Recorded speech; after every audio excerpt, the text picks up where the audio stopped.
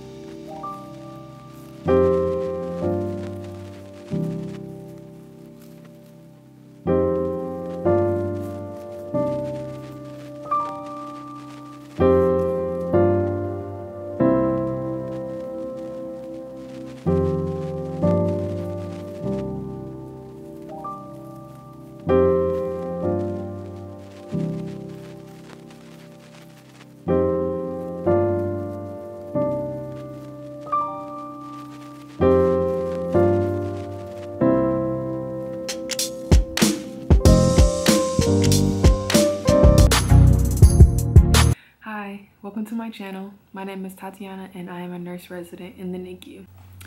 So today I kind of wanted to give you guys insight on what it is like to be a nurse resident in the NICU and exactly what a nurse resident is and a little bit about what I do. And I also wrote down some things that I want to go over with you guys. So please, if you like this video, like and subscribe. And this is also my first YouTube video. So please be patient because I know it's not going to be the greatest, but um, I hope you guys really enjoy it because when I was thinking about going to the NICU when I was graduating, there weren't a lot of YouTube videos on the NICU and kind of like what happened, what a resident was and things like that. There were plenty on like the interview process, but nothing specifically for the NICU. So I'm hoping that even though this isn't everything, that it will give you guys kind of like a head start or a little um, insight on what it really is like to be a resident, a nurse resident in the NICU. So first I wanted to talk about the residency and what a nurse resident even is. So I graduated nursing school in May 2019 and um, I think most of the hospitals now, I'm sure there still are hospitals that hire new nurses directly onto the unit as a nurse and not a nurse resident. But I think most hospitals now are leaning more towards nurse residency programs. And what those are, um, they're designed for new nurses, like new grads or um, even nurses moving from one area to another where they've never worked in a program for them to learn and develop before being thrown out by yourself to work in the unit. Basically what happens in the nurse residency program is that I have a preceptor and then I also have like a class portion. Basically, I work with a preceptor when I am on at the hospital and I um I will, I'm at the point now where I'm kind of like handling my own patients, but at first I would kind of shadow and then do things and then eventually work my way up to more independence. Our NICU is broken up into three areas. So we have an extra care nursery where um, those are babies who are basically ready to go home and get discharged and pretty much healthy, like they're, they're on the way out basically.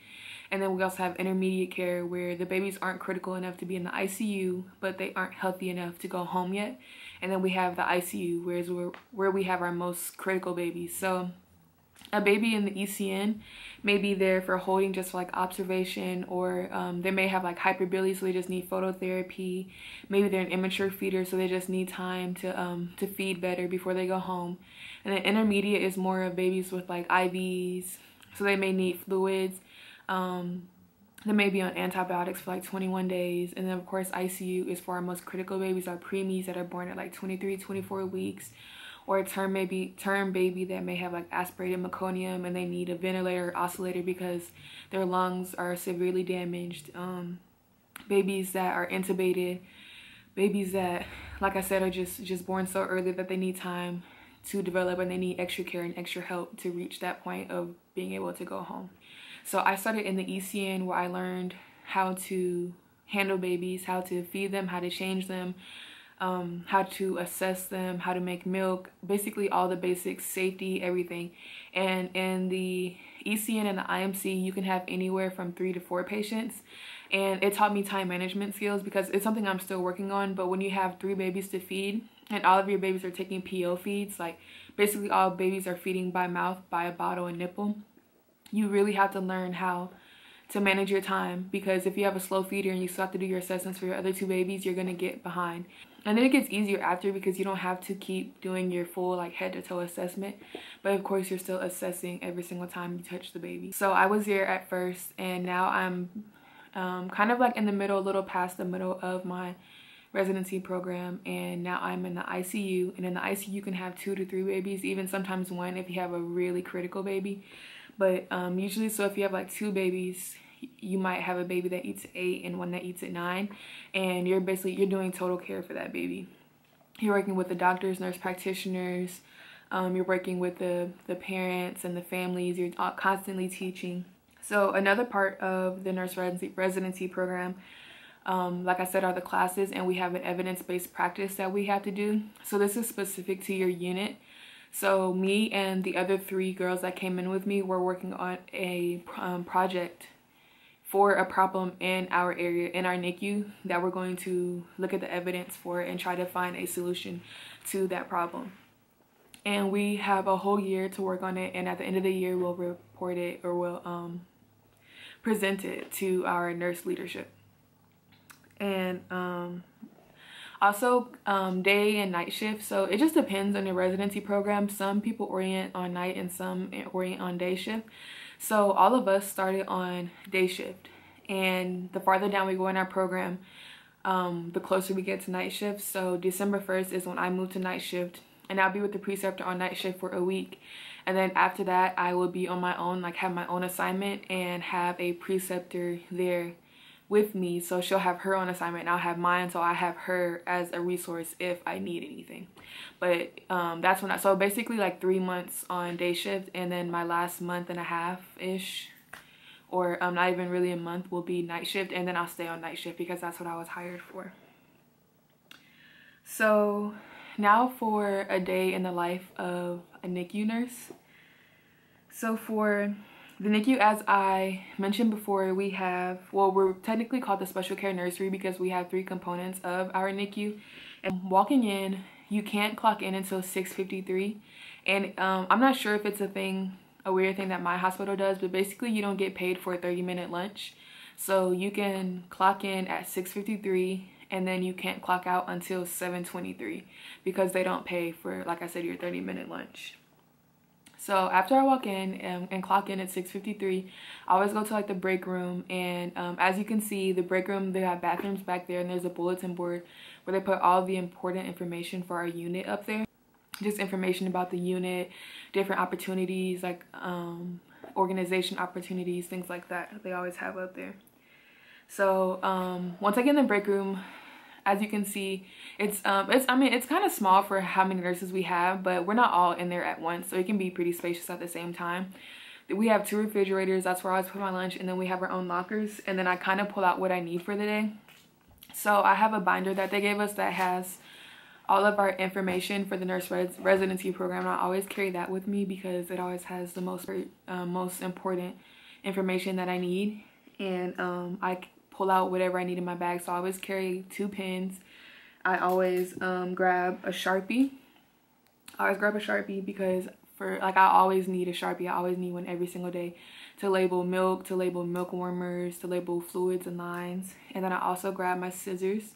These actually scissors I got when I graduated nursing school. They handed them to us and they've actually come in handy because I've needed to cut a lot of things and sometimes you can't always find scissors in a baby's room. And then another cool thing I always grab is my NeoGlow.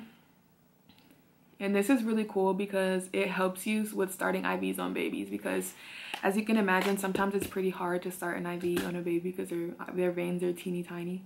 So what this does is it's a light that turns on and you know um, baby skin can be very I don't know what the correct term is but it's kind of see-through but sometimes on especially on term babies it can be a little more difficult but still if you like use this light it's a lot easier so you kind of like press this up on the baby's hand I'm not sure if it'll work on mine because I'm an adult obviously but you press this on a baby's hand and you'll be able to see all their veins and where they are and then you can find a good one and um, start the IV on a baby that way. So it just helps. So I always carry this because I never know when there's going to be an opportunity to start an IV.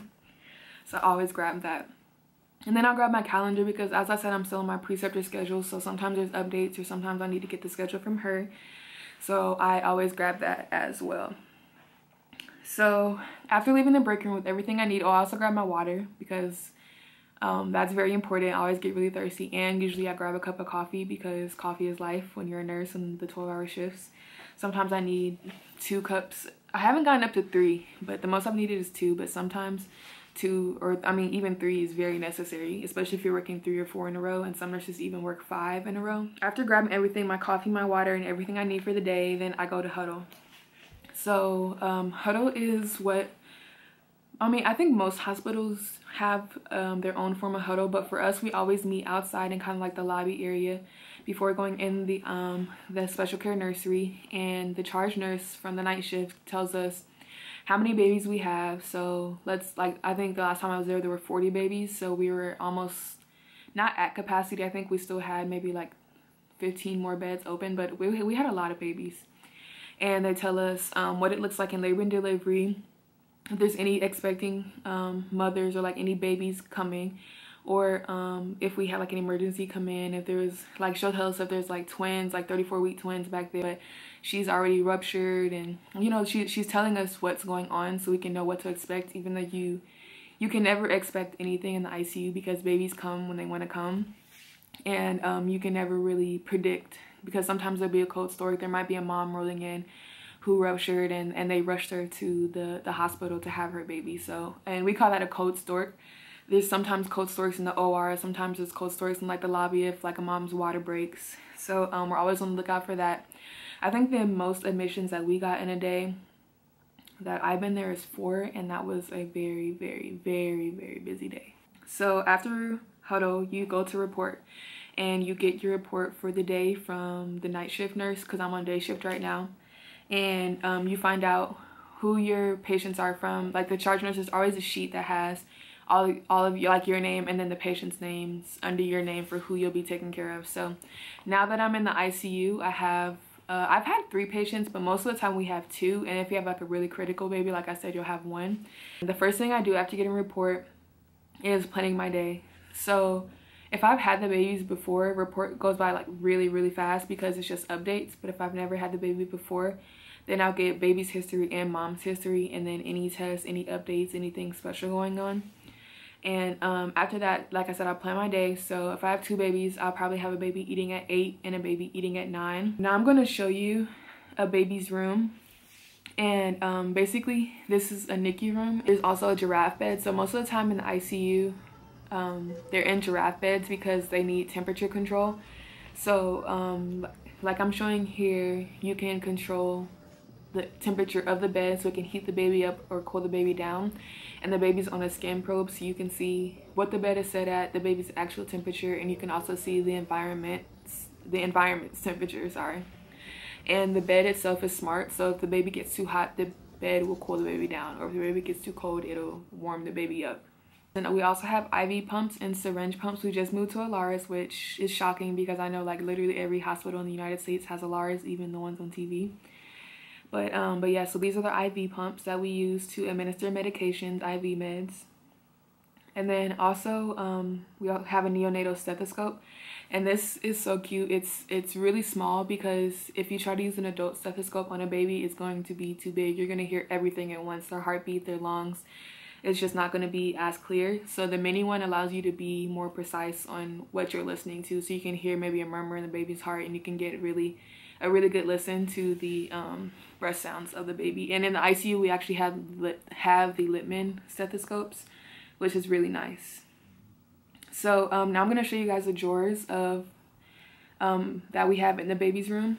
So in the first drawer, it's kind of like the miscellaneous drawer. It has everything you would need. So there's tenderfoots, and a tenderfoot is basically um, what we use for heel sticks on babies to draw labs. So we have those in there. We have alcohol, arm boards when we're starting IVs. Um, we have like the smaller, they're not called tenderfoots.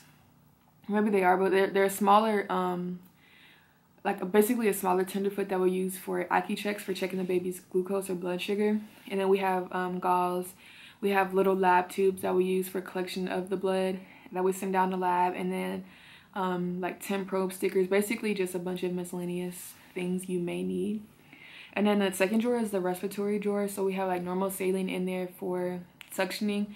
So like I said, there may be intubated babies, so we might have to do endotracheal suctioning, and that's when they'll use the normal saline.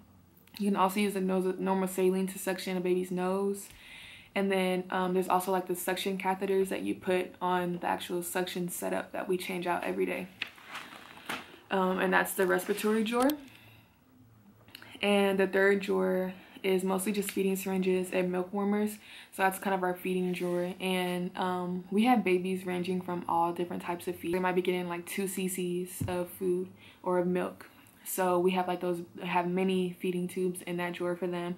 And then there might be a bigger baby who's getting 60 cc's. So we have like the huge syringes for them. And then in the last drawer, we have IV syringes and we mostly use these for like drying up meds and um, sometimes we'll use them for like collecting blood when we start an IV and we have to send a bunch of blood down to lab um, and different things like that.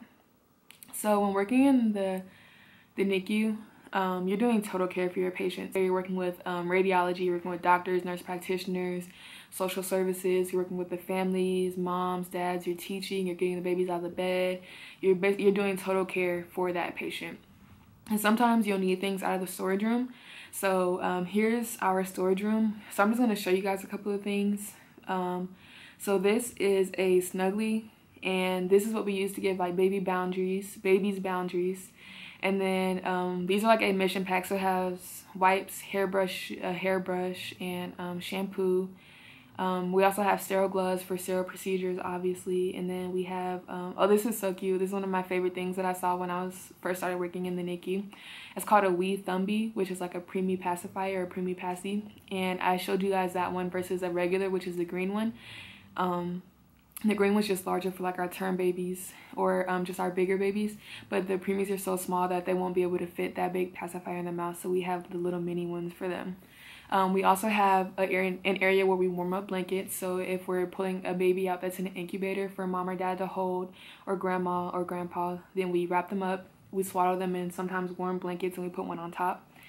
Um, and of course, you can get gloves in here, diapers, and I also wanted to show you guys the difference, the different sizes of the diapers because when I first saw the diapers that we use for our micro preemies, I was in awe because it is so cute. So as you can see, this is a micro preemie diaper. It is tiny. It's our P2 diaper compared to P1. So we have P2, P1, newborn, and then 1. So P2 is the smallest one use for our micro preemies, like our one pounder babies or less. And sometimes those micro preemie diapers can be too big because our babies are just so small. And then we have P1, which um, is kind of maybe like a two pound baby, three pound baby. And then we move up to newborn, which might be like four or five pound babies. And then, of course, like one, those size one for babies that are pretty big, maybe like seven, eight, nine pound babies. And if yes, there are big babies in the NICU too, because some babies are just simply sick. So, um, moving on from the diapers, we have feeding tube extensions because sometimes, uh, well, most of the time in the ICU, our babies don't PO feed, they don't feed by mouth. They have OG tubes placed that go directly from their mouth into their stomach and we feed them that way. So we have different size OG tubes. We have um, six and a half French, five French, and eight French, and eight French being the largest. And we usually like to use those on babies that are on high oxygen requirements because we're able to vent their stomachs that way and get give the air a way to escape so that their stomachs don't blow up. Um, we also have blood pressure cuffs and I want to show you guys this too because this is something that's really cute for our one pound babies. The cuffs I think that we have range from sizes 1 to 4. I didn't see a 5. I'm not sure if a 5 exists. But um, the smallest is a size 1. And I'm uh, wanted to show you guys this one because it is so tiny. It's so cute. Because we use this on our 1 pound babies. Their legs are so small. So we have to have tiny blood pressure cuffs for them. And then we usually use like the size 4 blood pressure cuffs for our pretty big babies, our term babies. And then um, I'm just showing you guys um, the setups for like suction, suctioning. So you have like the canisters, the um, tubing, things like that. And then we also have nipples for our bottles, which we really, don't use much in the ICU, but of course sometimes there are babies that eat. Um, we have the preemie nipple, which is the green one, and it's just a slower feed nipple. The milk comes out slower. And then we have like our standard or regular nipples. Um, mostly like term babies can use or babies that have good um, coordination with their suck and swallow. We also have procedure trays because there are procedures that are done at the bedside in the ICU or in the special care nursery. So maybe like a lumbar puncture or um, a PICC line or circumcision. We use the procedure trays for that and those um, those are like sterile procedures. And then we also have like the resuscitation mask and everything. So this is just our storage room and a couple of things that I've shown that we have there for our babies. Now, um, Something else that's unique to the special care nursery or the NICU is making milk. So we either, we have babies that are on formula and then we also have babies that are on breast milk or donor's breast, breast milk. So what's cool um, about the NICU is that we have the opportunity to do that because obviously our babies drink milk and um, day shift makes milk for night shift and then night shift of course makes it for day shift. We have Gradu feeds or these are the bottles so you just put we usually put caps on them but you can just put a nipple on there and feed the baby directly from this of course we have syringes for babies that are on tube feedings that aren't eating by mouth and then uh, we have the smaller feeding syringes for, ba for babies that are only getting a small amount and then um, this is the human milk fortifier that we use to change the calories in our milk and we have Similac and Enfamil and Similac is usually used for our acidotic babies and Enfamil is for babies that aren't. So, um, last is the greatest thing, contraption ever to be created for NICU nurses. And um, basically this is you, uh, I'm not sure what the name is, but you put it on a bottle and you can use it to pull the milk up in a syringe. Because usually if you don't have this you have to take the plunger out and you put the little stopper on the end. You pour the milk in you put the plunger in and you flip it upside down to push the milk in to the top. And sometimes if you're not careful milk can end up on the ceiling on your clothes like you'll go home with breast milk all over you so this is the best thing ever invented for NICU nurse. It makes it so easy. We um of course have a freezer where we freeze our milk if we have extra milk because we don't want it to spoil. And then once that's done you're um, giving reports a night shift. And like I said you're either giving a full report if the person has never had the baby before or you're giving an update which is personally my favorite because it helps you get out at 7:23. but here I'm just showing it was a very good day because I was able to clock out exactly at 7:23 and um, walk to my car. And at my hospital you um, can't park at the hospital unless you're working on a weekend or night shift. And this just happened to be a Saturday that I was working so I was able to walk straight to my car. Okay, so I hope that you guys really enjoyed this video and I hope that it gave you some insight onto what it is like to be a NICU nurse and also a NICU nurse resident. And um, I just wanted to tell you guys, if you're thinking about going into the NICU or maybe something with like pediatrics, I highly recommend it because I leave every day with my heart so full.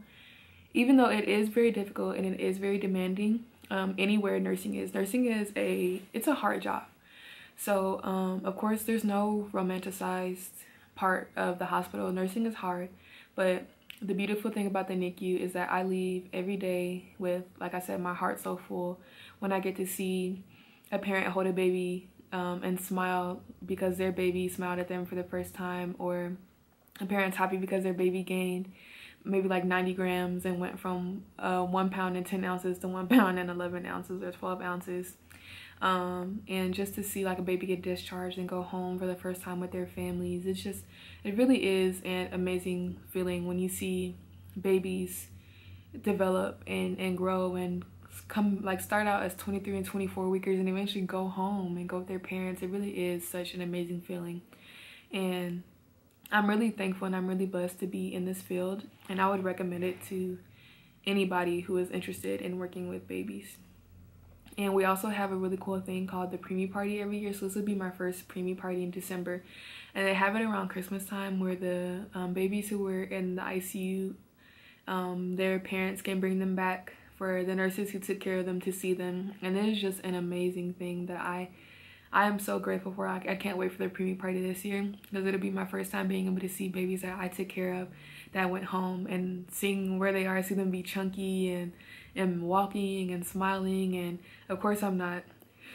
Um, I haven't been there long enough to see them, um, the the ones that come that are in high school and college. But it's still going to be an amazing experience to see. So I'm hoping that I gave you guys kind of an idea of, like I said, what it's like to be a NICU nurse resident and um, if you guys enjoyed this video, please um, like and subscribe and please be on the lookout for more videos.